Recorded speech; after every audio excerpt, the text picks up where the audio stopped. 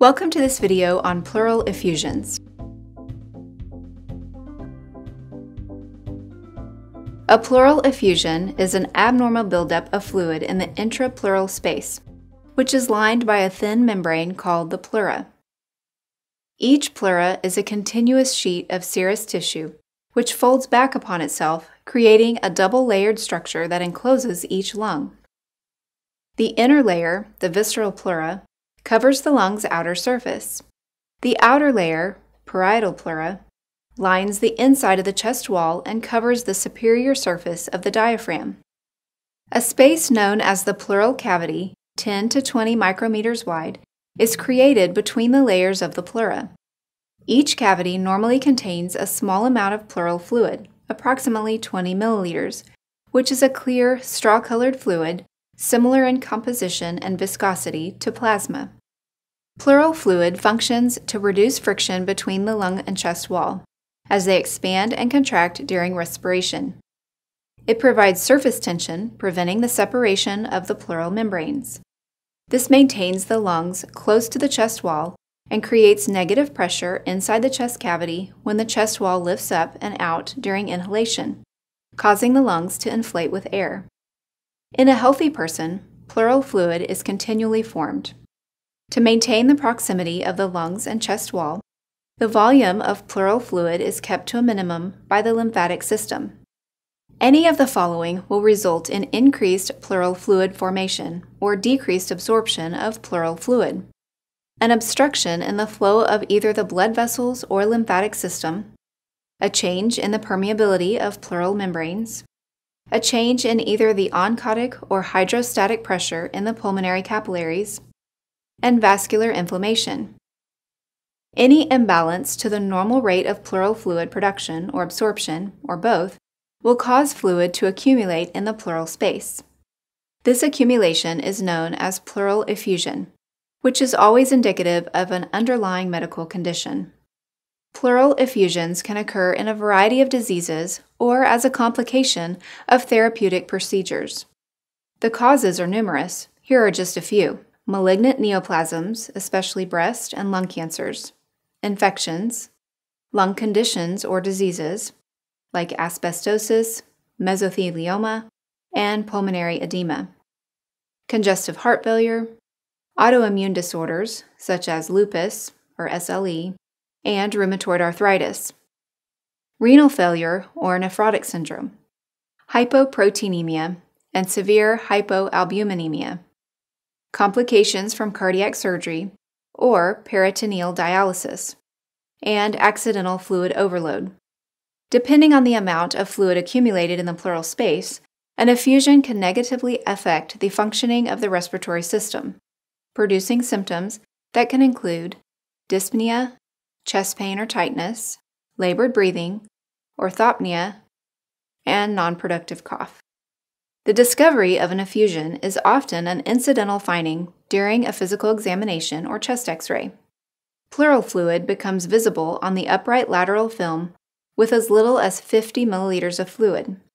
Clinical findings on physical examination may include decreased or absent breath sounds, dullness to percussion in the area over the effusion, pleural friction rub, agophony, which is increased resonance of voice sounds heard during auscultation, decreased tactile fremitus, and asymmetrical chest expansion.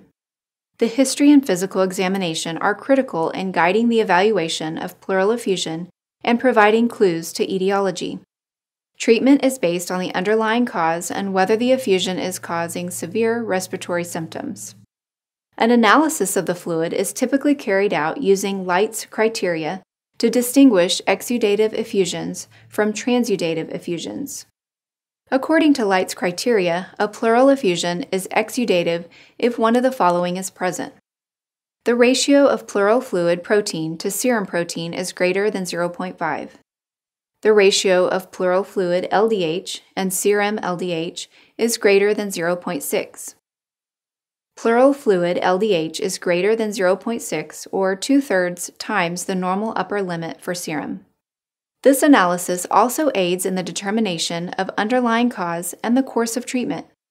Despite extensive diagnostic workup, the etiology remains unknown 15% of the time. In effusions, classified as transudative, movement of fluid into the pleural cavity results from a change in either the oncotic pressure or hydrostatic pressure of the pulmonary capillaries and generally reflect a systemic process, for example, heart failure or cirrhosis.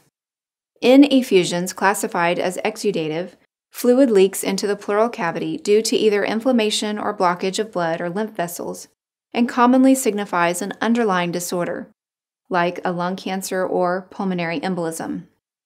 Asymptomatic transudative effusions generally do not require treatment and most resolve spontaneously when the underlying disorder is treated.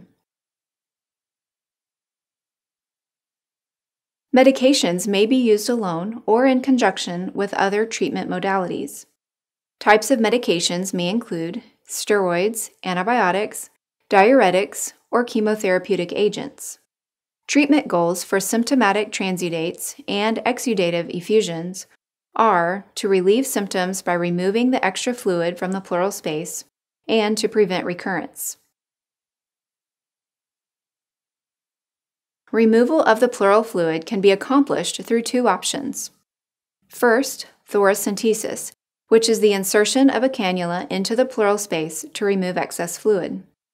Normally, 1500 milliliters of fluid is removed during the procedure. This is an arbitrary amount with no evidence to suggest removing a greater amount of fluid would be contraindicated. The second option is a tube thoracostomy. This is the insertion of a chest tube into the pleural cavity. The tube is connected to a chest drainage system and will remain in place to drain the fluid. A procedure called pleurodesis involves instilling a sclerosing agent to obliterate the pleural cavity preventing further accumulation of fluid.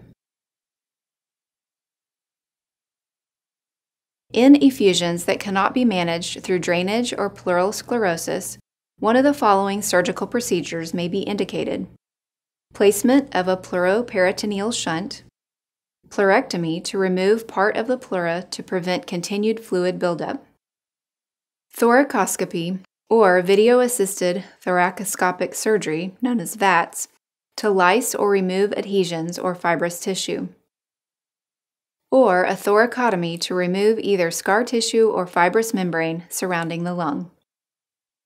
Okay, let's review by going over a few questions. The pleura consists of two layers the A. Mediastinum and parietal pleura, B. Visceral and parietal pleura, C. Visceral and mediastinum pleura, or D, none of the above.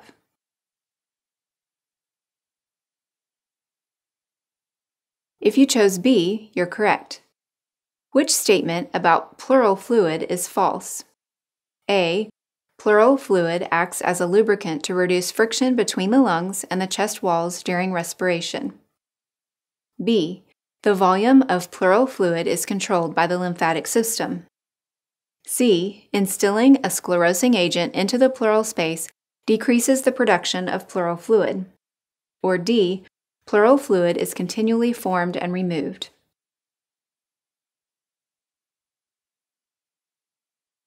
If you chose C, you're correct. A sclerosing agent induces an inflammatory response, obliterating the pleural space. All of the following are goals of treating an exudative treatment except A relief of any respiratory symptoms, B. Removal of the accumulated fluid, C. Preventing recurrence, or D. Diagnosing the underlying cause.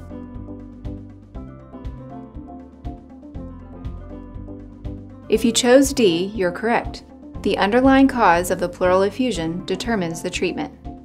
Thanks for watching and happy studying!